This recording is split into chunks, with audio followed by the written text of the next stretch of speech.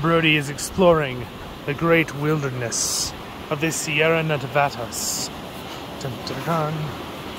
He's oh, let's go this way.